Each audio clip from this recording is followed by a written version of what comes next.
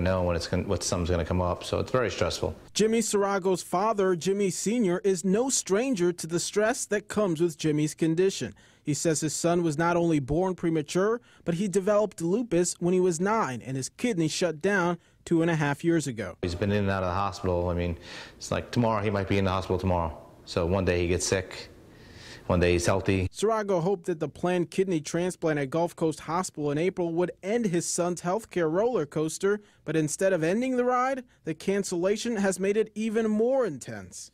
Just can't wait till it's all over. But things may be finally looking brighter for the Saragos. Jimmy Jr. was cleared for a transplant yesterday at a hospital in Weston. They're just waiting for a few tests before surgery is scheduled. The journey has been long and hard, but Jimmy Jr. finds a way to stay positive.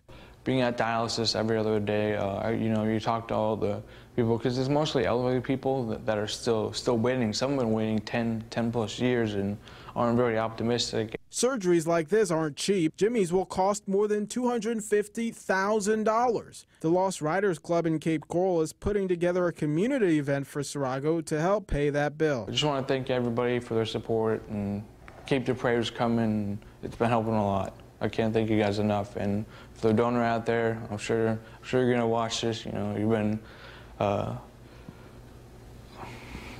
a blessing. I just want to thank you. Certainly a tough story. You can find more information on our website and a link to Jimmy's GoFundMe account at fox4now.com. As for Lee Memorial, there's no telling when the kidney transplant pro program will be open for business. A spokeswoman says the review could take several months. Live in the newsroom, Tony Sadiku, Fox 4 in your corner.